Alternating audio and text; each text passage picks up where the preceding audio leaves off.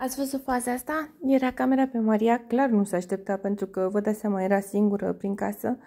S-a dus sus în dormitor, a luat poza aceea mare cu Amir, um, s-a uitat un pic la ea și apoi a strâns-o în brațe și a pupat-o.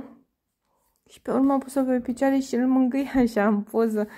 M-a emoționat foarte tare și cred că îi spunea ceva acolo, pentru că a stat ceva timp. Am pus și filmulețul pe Insta să vă uitați. Uh, cred că este foarte dor de el. Mă gândeam că poate ar fi putut să-l aducă totuși astăzi, adică de ce să treacă o săptămână? Acum, spre exemplu, până la Caprici nu, nu se mai întâmplă nimic.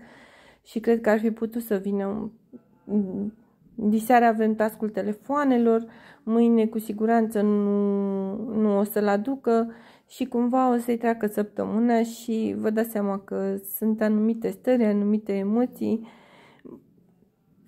nu știu, poate reușește cumva să facă să, să vorbească măcar telefonic, prin video call sau bănuiesc că există o posibilitate, nu e chiar așa că, na, avem tehnologie, nu?